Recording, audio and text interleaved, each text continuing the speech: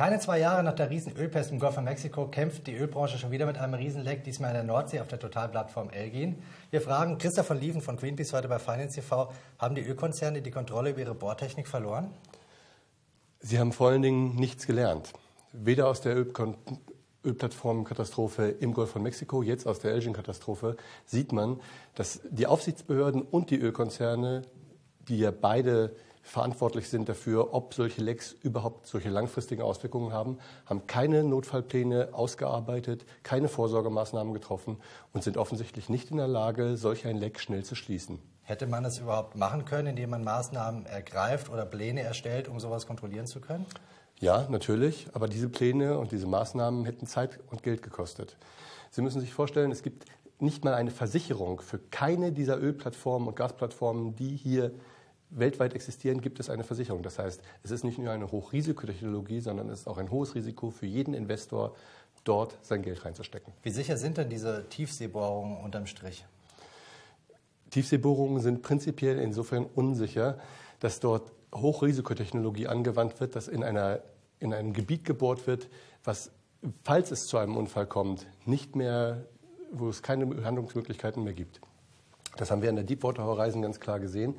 Wir sehen das auch an vielen anderen Stellen, dass wirklich auf 1800 Meter Tiefe kann nicht mehr normal gearbeitet werden. Nur wenn dort Vorsorgemaßnahmen getroffen werden würden, wie zum Beispiel die Bereitstellung von sofortigen Entlastungsbohrungen, die parallel schon zu den ersten Bohrungen da sind, die Bereitstellung von jeweils zweiten Rettungsgeräten, nur dann ist es überhaupt auch nur ansatzweise risikominimierend. Aber das Risiko ist immer sehr, sehr groß. Aber das würde funktionieren, wenn man parallel eine zweite Bohrung ansetzt, die man dann nur bis zum Ende durchstechen muss, wenn was passiert? Ob es funktionieren würde oder nicht, es wäre eine Risikominimierung. Das Problem ist ja ein größeres, wenn man sieht, wo die Ressourcenförderung hingeht. Wir gehen immer mehr in Grenzbereiche. Das arktische Öl ist das nächste große Ding, äh, vor dem die Branche steht. Wir brauchen das ja wahrscheinlich auch, diesen Rohstoff. Ganz andere Spielregeln als in der Tiefsee. Wie sicher sind die arktischen Ölbohrungen? Es gibt keine sicheren arktischen Ölbohrungen. Faktisch ist es auch so, dass erstmal sind wir der Meinung, dass wir diese Ressourcen dort nicht brauchen und nicht ausbeuten müssen, weil der Ausbau regenerativen Energien einfach notwendigerweise schneller gehen muss und dann können wir auf diese fossilen Energien verzichten. Das ist das eine. Das zweite ist, dass in der Arktis A durch Wetterbedingungen und B aber auch zum Beispiel durch Eisberge die Gefährdung sehr, sehr viel größer ist als unter normalen Bedingungen, wie zum Beispiel im Golf von Mexiko. Und drittens ist es so, dass falls dort etwas passiert, ein Unglück wie im Golf von Mexiko, es keinerlei Möglichkeit gibt, schnell auch wirklich zu handeln. Es gibt keine Möglichkeit, mal eben mit Flugzeugen, mit vielen Schiffen dorthin zu fahren, um die notwendigen Eingrenzungsmaßnahmen wirklich zu treffen. Das ist unverantwortlich, in der Arktis nach Öl und nach Gas zu bohren. Aber ich unterstelle mal, der Trend wird trotzdem dahin gehen, es wird diese Bohrung geben. Was müsste die Industrie machen oder worauf müsste hingewirkt werden, dass zumindest die Risiken einigermaßen kontrollierbar sind? Shell versucht jetzt gerade in der Arktis zu bohren. Gazprom versucht es in der russischen Arktis jetzt anzufangen. Unserer Meinung nach muss es ein Moratorium geben, muss es eine Vereinbarung geben, genauso wie die für, für die Antarktis, dass keine Rohstoffe dort ausgebeutet werden. Es gibt momentan keine technischen Lösungen für eventuell entstehende Probleme. Deswegen darf man das dort nicht tun. Sind Sie wirklich der Meinung, wir können auf diese ganzen Grenzbereiche verzichten in der Ressourcenförderung? Wir sind nicht nur einfach nur der Meinung, sondern wir haben uns auch gemeinsam mit führenden Forschungsinstituten weltweit Pläne ausarbeiten lassen, wie es geht, ein Face-out zu gestalten, dass zum Beispiel Deutschland im Jahre 2050 auf fossile Energien komplett verzichten kann.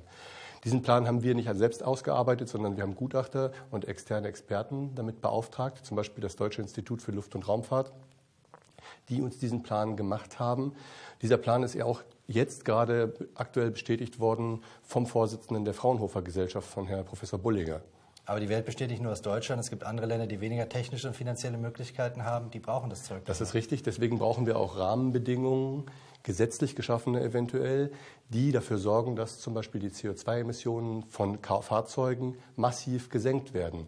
Die Technik dafür ist lange da, auch weltweit die massiv zu senken. Faktisch ist es so, dass sich die Autokonzerne immer noch weigern, wie zum Beispiel im Moment VW, weigern, bestimmte Reduzierungen wirklich mit in ihre Produktion mit einfließen zu lassen, obwohl sie schon vor 15 Jahren gesehen haben, sie können ein 3-Liter-Auto bauen, den 3-Liter-Lupo, werden heute keine Autos mehr gebaut, die so wenig Sprit verbrauchen. Und das ist eine absurde Situation.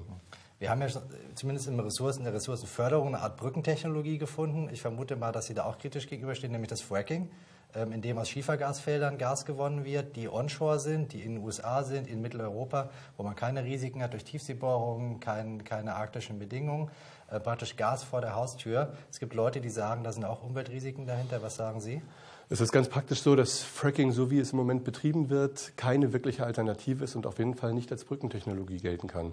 Auch wenn wir sagen, Gas prinzipiell ist eine Brückentechnologie, gehen wir davon aus, dass Gas aus konventionell geförderten Feldern dafür genutzt wird. Fracking bedeutet, dass unter hohem Druck mit einem hohen Energieaufwand Chemikalien in eine große Tiefe gepresst werden. Dort wird Gestein aufgebrochen. Das in diesem Gestein gespeicherte Gas wird nach oben gefördert. Wir haben gerade ganz aktuell den Fall in Völkersen südlich von Bremen, dass dort gefrackt wird und dass die, dass die Benzole, die krebserregend sind, durch die Leitungen durch auf die Felder und ins Grundwasser diffundieren. Das ist keine Methode und keine Technik, die so weit ausgereift ist, dass man wirklich sagen könnte, es würde eine alternative Energieversorgung darstellen können. Aber ähm, die Konzerne sagen, es ist noch lange nicht bewiesen, dass es Schäden, Schäden gibt. Die Konzerne werden so lange sagen, es ist nicht bewiesen, bis sie verurteilt worden sind. In den USA gibt es die ersten Verurteilungen.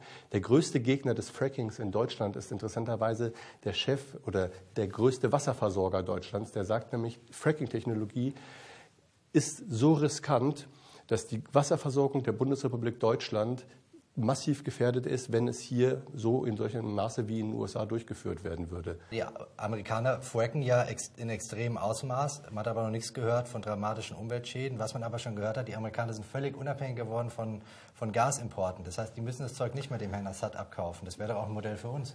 Es ist wirklich so, äh, Amerika ist einer der größten Gasproduzenten, Gasproduzenten der Welt geworden, durch das Fracking unter anderem. Es ist aber auch so, wenn Sie sich erkundigen würden, dann ist es wirklich so, Sie sehen, dass es ganz massive Umweltschädigungen auch in den USA gibt und dass es auch großen Widerstand dagegen gibt. Das sind klare Thesen. Ich versuche die nochmal aufzuspießen mit unseren drei Fragen, die ich Ihnen Gerne. mitgebracht habe, äh, mit der Bitte um die Ja- oder Nein-Antwort. Zunächst die Frage, werden die Erfahrungen aus dem Gasdeck auf der Totalplattform die Gasforderung in der Nordsee sicherer machen? Nein. Zweite Frage, wird die BP-Katastrophe im Golf von Mexiko auf lange Zeit die größte Ölpest aller Zeiten bleiben? Nein.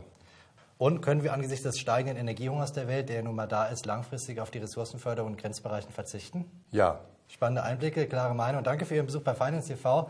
Wir hoffen, es war für Sie auch interessant. Hoffen natürlich auch, dass Sie morgen wieder zuschauen. 12 Uhr bei Finance TV. Dankeschön und tschüss.